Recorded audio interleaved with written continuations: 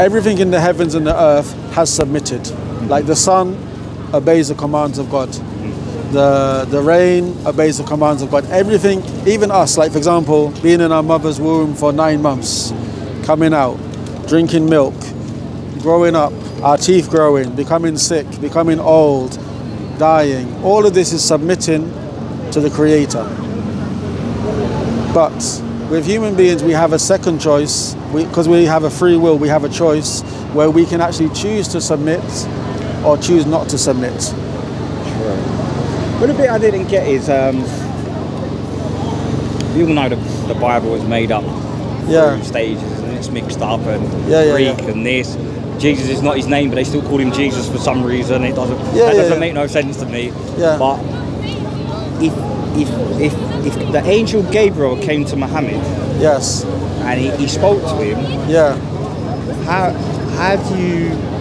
What I'm trying to say is, how do you just take out the Bible? You know, like, do you know what I mean? Like, See get where I'm coming from? See the thing is, as a Muslim, so like everything has to ha- everything has to be understood what we're talking about. Bible, Biblius, a collection of books. Mm. So now, like Protestant eh, Church of England, they believe in 66 books. Yeah, yeah, yeah, yeah, yeah. Catholic 73. Yeah. So others more or less. So this is what they're talking about the Bible. As Muslims, we believe what was given to Moses. We we believe Moses received revelation, believe in the Ten Commandments. the Torah. No, I'll come to it. We Okay. believe we believe Moses received revelation. Yeah. We believe like the prophet David, Dawood, he received revelation. We believe Jesus received revelation. But we're saying what the Jews and Christians have today in their hands, we can't trace it back to those. Yeah. Like even if, even if you put the Muslims to the side and you put the Quran to the side, Yeah. biblical scholars are going to tell you that these books we don't know the majority of the Yeah, authors. yeah, yeah, yeah. even though the names given are later ascriptions which we don't know who wrote them. Yeah, yeah, yeah. Most of these books were written hundreds of years after 350 Moses. years, yeah. After Moses. Yeah. The the books of uh, like even even the, the New Testament, the majority of the books are attributed to Paul. Yeah. 13 letters. And the scholars say uh, from those 13, three of them they agree, the majority of scholars agree they're not from Paul. Someone else has written them and written Paul's name on it. So the thing Yeah. is, without, without the Muslims, without the Quran, we're going to say that book is not reliable. Yeah, the 100%. Yeah. When it comes to the Quran, we are saying the Quran itself, it, it tells you it is from Allah. It tells you it's been sent down by the, uh, brought down by the angel Gabriel, sent down on the Prophet Muhammad sallallahu alaihi wasallam, and we have the Quran recited daily, practiced daily. Do we know why God didn't speak to uh, Muhammad in the Gabriel? See, the thing is, Allah sends uh, an angel by means. There's there's an incident when the, Allah spoke directly to the Prophet wasallam when he was taken up on Al Isra wal Mi'raj, uh, chapter 17 of Quran. But generally, Allah sends angels. The point being is, but the, the revelation we have in the Quran, it, it has been preserved. And it's something which has been continuously practiced. And we can trace it back to the Prophet Muhammad sallallahu alaihi wasallam. When was the first Quran? When, does, where, where was the first Quran? Who had the first Quran? Where is it based from? Quran, Quran means something which is recited often. Yeah, yeah, yeah. It's up here. Yeah, my friend. So the Prophet Muhammad sallallahu alaihi wasallam, when he reached the age of 40, he used to go to a cave uh, just outside, just cl- close to Mecca, uh, Ghar Hira. So this cave, he used to go there, and he used to contemplate about his people, the condition of his people, and try to worship God directly. Is that where they had the spiders with? Allah, this is this is what is mentioned. This is this is a separate incident. Ah, okay, yeah, yeah, this yeah, okay, incident. okay, okay. But here, this is when the angel Gabriel came to him, and the first five verses of Quran were, were revealed. Just five verses. But then the Quran was revealed over the next 23 years at different times and different places. But whenever the Quran was revealed to the Prophet ﷺ, he could not read or write. Whatever was revealed to him, he memorized. Then he would call companions. We have the names of 65 scribes. We have their names, their tribes, their fathers' names, details about them. These were the scribes. So whenever anything was revealed, the Prophet ﷺ would call them and teach them what, he'd, what, he'd, what, he, had received from the angel, Gabriel. they would write it down on whatever material they had, and they would memorize it as well. Yeah, yeah, yeah. yeah. But then the Quran is being constantly recited daily. Yeah, yeah, yeah, And yeah, practice. yeah. So that's how we have the Quran. right. Okay. When the when the Prophet Muhammad died, yeah. 20 at the age of 63, then the first Muslim ruler Abu Bakr, in the first year, he called a group of companions who had memorized Quran from the Prophet Muhammad. They heard the Quran from the Prophet Muhammad and he and he gave them the responsibility of gathering all of the writings, all of the scraps, all of the bones, all of the pottery, and they compiled the Quran between two covers. So that was that was when it was first written down. So why, why, or is it? Because I'm not 100 percent sure. But why did Muhammad uh, marry a nine-year-old girl? Why? Okay. Why? Why? Why? It's not a problem, but I'm just, I don't understand. No, no, no. See the see the thing is, I'll come to it. But are you? But you're with the issue of there's one God. He sent messengers and revelation. Yeah. Okay. Yes. so according to the the teachings of the Prophet Muhammad, sallallahu alaihi wasallam, his history, he married Aisha when she was nine. This was something which was normal and accepted at that time in the community. See, the thing is, we're, we're looking at it by our standards. Islam is not is not commanding you. It's not saying, "Oh, Yeah, yeah, yeah, yeah, yeah, yeah, yeah. you're Muslim, now you have to give your daughter away at nine. I was just wondering, was it you know to protect her? Was it because you know?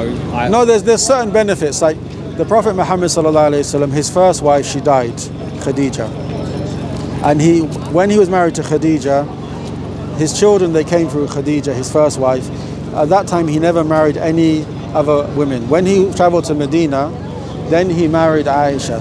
Aisha, she was given by her father Abu Bakr and her mother. They gave the father gave her in marriage. The mother prepared her. Aisha, she was happy with the marriage. She lived uh, when the Prophet died. She was 18 years old. So from that time, she she never complained. She was happy with it. She used to boast that I was the wife of the Prophet. I was given, uh, you know, in, in marriage. So she used to be, and the, benefit was because she was only 18 at the time. She she was a scholar in her own right, and many of the things in, in the house of the Prophet ﷺ in the night time when other people were not there, she taught us those things because she was a witness to them and she continued to teach people long after the Prophet ﷺ had passed away. So there was some benefit did in the the marriage. have any kids with her? Did he have, No, no, Right. Okay. yeah. See, the thing is, for us, it's um, for us in this time, it's something which is uh, can be difficult to understand. Yeah. But you have to understand, the Prophet Muhammad ﷺ, he was in Mecca. In Mecca, the people were idol worshippers. Many of them they opposed him, and they they persecuted the believers. They tortured the believers until they had to go to Medina. Then the Prophet ﷺ, he went to Medina. In Medina, there were certain Jewish tribes who were there because they knew a prophet would come. He fought against the, the Christians, the Byzantine Empire, the Romans.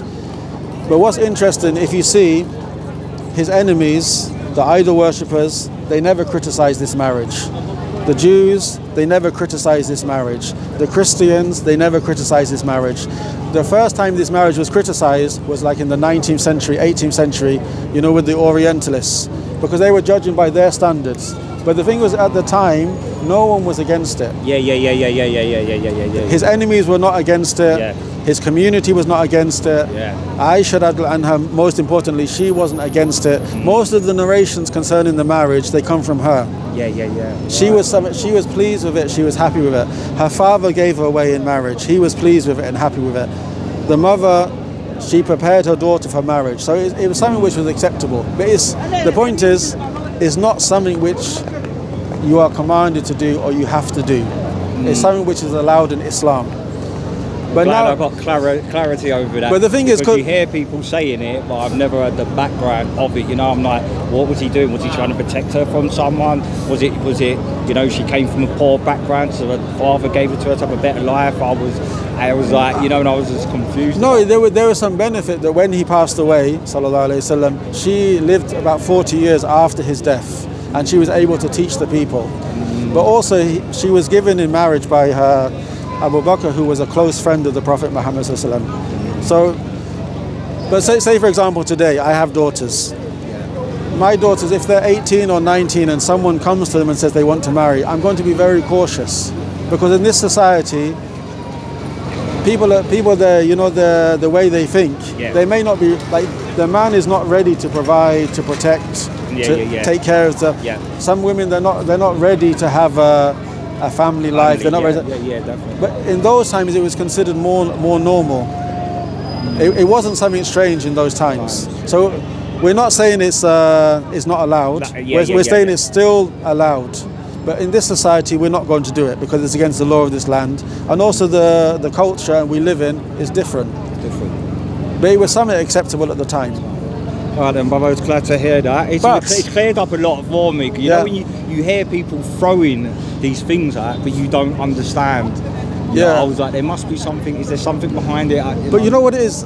I, I would say what's interesting is I generally find when people bring out this uh, point of the marriage of Aisha, But that's what you hear a lot of. That's what I'm like. I, I, my my my uh, perspective on it, and I think many people they see it the same is when people can't argue the fact that God is one, the people can't argue the Quran is preserved, the people can't argue about the the completeness of Islam. That's something that they all throw out to you. This is some, yeah. They Yeah, can't yeah. they can't argue about the character of the Prophet Muhammad sallallahu They can't Yeah. argue about the Islam being preserved. They can't argue about how Islam is spreading. yeah, yeah, yeah, yeah. This is something That's which they, something they, pull out. Yeah, they pull out. I've always been like, but is there a reason behind Yeah, yeah. I hear people throwing it out all the time. I'm But the thing is, it, it wasn't a consideration at the time. It was considered normal. Normal, right, but still, the point, still the point, is you.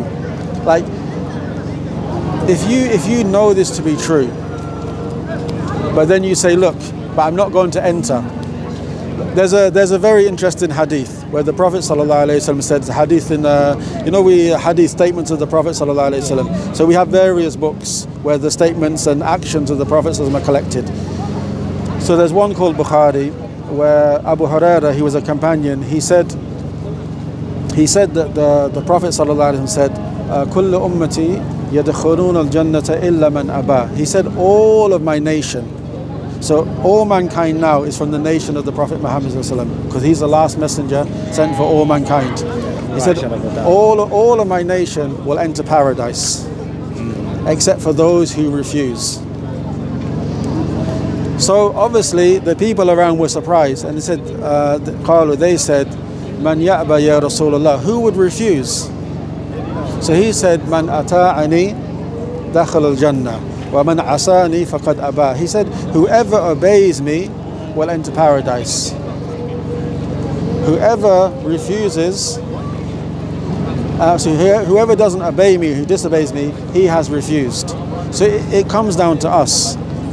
And the Prophet ﷺ, he used to repeat to the people, Kulu la ilaha illallah tuflihun. He used to say to the people, say la ilaha illallah. Say none has the right to be worshipped by Allah. And then we'd add to that, and Muhammad is the messenger of Allah. Say this and you will be successful. This is the, the most important thing. See, the thing is, if, if, if you see it to be, uh, you know, we're, we're not here to force. Mm. You know, Allah says in Quran, La ikraha. He said, there's no compulsion in religion. We can't force you to believe. You can't force me to stop believing, etc. But then Allah said, but the truth is clear from error. If you know it's to be true, that Muhammad is the messenger, He's the last that- that- messenger. is the last messenger, he was sent for all mankind, that Allah alone deserves to be worshipped, that the final revelation is Quran, Islam is the perfect way of life. You have to enter it. I hear you, brother. I hear you. I hear you. I hear you. I'm, I'm, I'm not going to press you, but think about it. I will see you again, inshallah. No problem. We're here every Saturday. It's good to talk to you. You need anything like Quran or leaflets? I've got? Quran. I've got two in my house. Okay, think about it. In my house. Yeah. Okay. Well, thank you very much. No problem. A Sorry, I, I forgot. What was your name? Chris. Chris. Yusuf. Nice to meet you. Yeah, your wife, you sort of got kids, haven't you? Yeah, yeah, yeah, yeah. kids.